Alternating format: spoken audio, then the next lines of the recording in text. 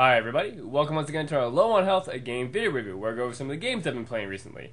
Um, in this particular installment, I will be talking about Duke Nukem Forever for the PC and Dirt 3 for the PC. And if you haven't already noticed, a lot of the games I'm playing this year are on the PC because of my whole financial situation. I can't really rent from GameFly or uh, Blockbuster or whatnot, so uh, I've been playing a lot of PC games. That's why you haven't really seen my Xbox Live or PSN or done a lot of uh, console games and whatnot, like Shadow the Damned or other kind of console-specific games.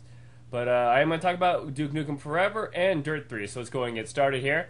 Uh, Duke Nukem Forever, as we all know, this is our Duke Nukem sequel we've been waiting for forever. Um, we finally got it after you know excellent many years of development. I won't even go talking about that. But uh, I do remember playing the original Duke Nukem 3D back in the day. It was kind of one of those older games, or like Wolfenstein and Doom, the classic Doom. I do remember playing uh, back in the PC days, uh, and it was good. It was a fun little shooter and whatnot. So this is kind of uh, the new version of it, the sequel, and man not that great of a game. I mean, as a, standard first-person shooter goes, it's even kind of subpar by our standards. Um, the weapons aren't that great, and the main shtick of it, I mean, his whole kind of lowbrow type of humor, or just you know, his, his, the overall style of the game, just really isn't that great. I mean, the only thing that's kind of fun about the game is all the different interacting with the environments and like all little stupid things like you know, flushing toilets and drawing on stuff and picking up stuff, and just all that little stupid little things in the game um, are fun, but the actual gameplay parts of it start to get just real annoying. It's not just it's not a fun game whatsoever.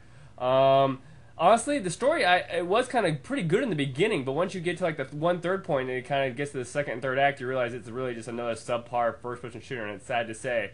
Um, that's all it really is. I can't really recommend it for people, but if you uh, want to rent it or something, it's definitely worth renting and kind of playing a little bit here or there. But it is not a great game whatsoever, and even first-person standard-wise, it's not that great of a game. I mean, there's definitely better games out there, but uh, it's just kind of uh, eventually what I what eventually I end up realizing it was just kind of a sad game to play to see that after all this time, this is what has happened. But uh, moving on here, let's go and talk about the next game. Is going to be Dirt Three. Now I'm kind of a big fan of the racers to a point. I uh, mainly I'm just a kind of play a Project Gotham Racing on the Xbox. I got that for free. I will say, of course, the hands down best racer out there right now is Project Gotham Race, uh, Project Gotham, but Forza 3 for the Xbox 360 because of all its community stuff, all the paint jobs, all the different tune kits, and the community it has is really great. Uh, Need for Speed Hot Pursuit did a really good job of that too last year, um, which was really good. That kind of gave me more of a burnout feel. But uh, the Dirt series, I, I do remember playing the first two. Um, I mean, they're basically more of off-road racing and whatnot. Um, so I mean, if you know what you expect with that, it's it's, it's a basic solid racer. Um, what I do like that it has done is it has the new kind of staple like all the games have now with uh, like racing assists, like the guidelines or kind of auto braking, auto steering, or just little corrections, so you can kind of gauge the difficulty to your personal playstyle, which I really like. If you want to be arcadey and more flighty, you can do it that way. And if you want to be more simish, you can dive into it. But it definitely gives you di- varying degrees, not just one, two, or three easy, medium, hard difficulties. But it gives you different, you know, kind of uh, settings to, to play with, and I really like that. Um, I really did like about this. The environments are really good. Like I maxed it out on my PC. It just like they just really pop and they were like very detailed. And I just really like that. Looking at the vistas like before the races or even just during the races, it's very fun just kind of watch them. Um, but other than that, uh, the only thing I didn't really like about it, which is a nitpicky idea, but like its menu style design, I wasn't a big fan of. I liked the, the previous one, but uh, it's a good just standalone racer. I, I enjoyed it.